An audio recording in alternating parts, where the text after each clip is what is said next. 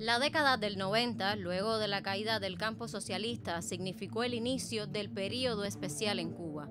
Ello devino a escasez de alimentos, transporte, larguísimos apagones, incumplimiento de acuerdos migratorios por parte de Estados Unidos y con ello migración irregular y fatales desenlaces, secuestros de embarcaciones, asesinatos a quienes custodiaban la soberanía nacional, los disturbios del 5 de agosto de 1994.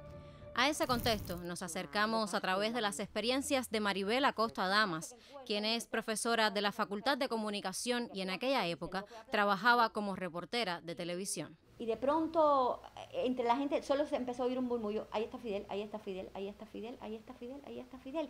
Y aquello que era un griterío, pues bueno, se calmó de pronto y de ahí Fidel salió para la televisión. Si Estados Unidos no toma medidas rápidas y eficientes para que cese el estímulo a las salidas ilegales del país,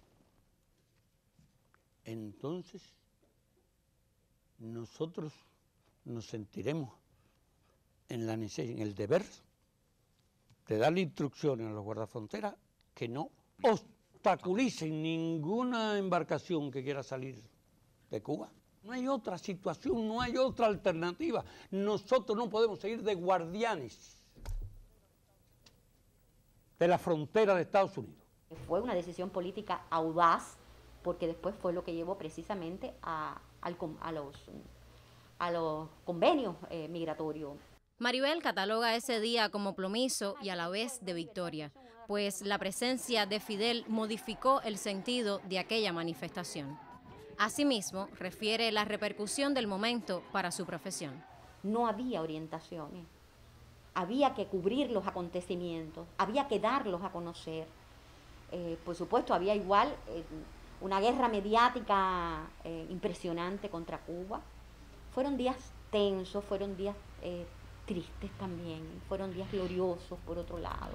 Aquel pasaje de la historia nacional, sus antecedentes y posteriores saldos demostraron la grandeza del pueblo cubano y de la revolución. Siempre digo que la revolución cubana no tiene nada de qué avergonzarse errores, para adelante, para atrás, etcétera, etcétera. Forman parte de los procesos políticos.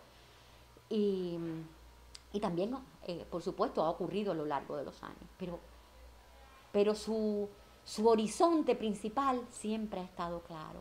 Y cuando ha habido que parar y reinventarse, ha habido que parar y reinventarse. Y decirlo, bueno, con toda la transparencia del mundo. Eso lo enseñó Fidel.